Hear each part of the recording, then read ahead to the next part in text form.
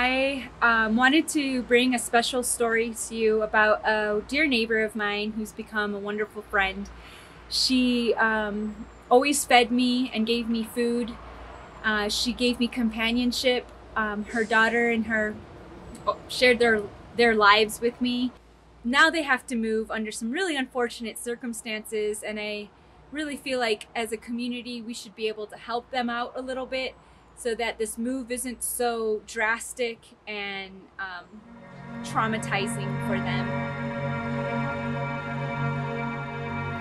I expected to be living here longer than four years because I didn't take into consideration that the rent could go up.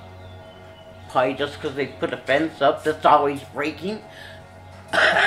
but that's part of life we are supposed to expect the unexpected. It takes a lot to get on housing, but hey, patience makes for a good outcome. Even though it's a long waiting list, it's better than being homeless. It gives me stability, it gives me, it puts me in a good place because I've known me living in poor housing uh, situations. This is quite a upgrade to what I was living in.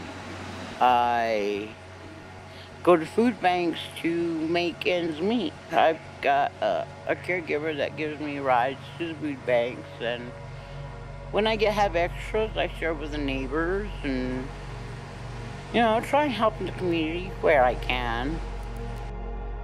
Well, I'm proud of myself. I've been able to keep this housing without having any complications.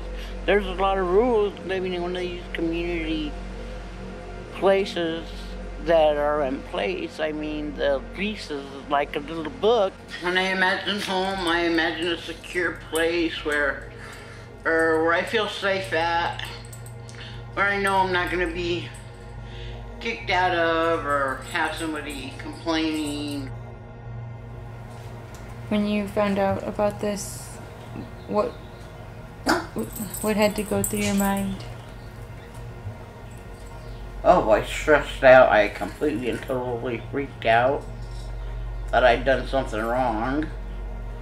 Thought that doing my reapplication and marking renegotiate the lease would have worked, but since the rent increase was so high, they couldn't do it, so now I have to move. So it adds more stress than I'm normally used to.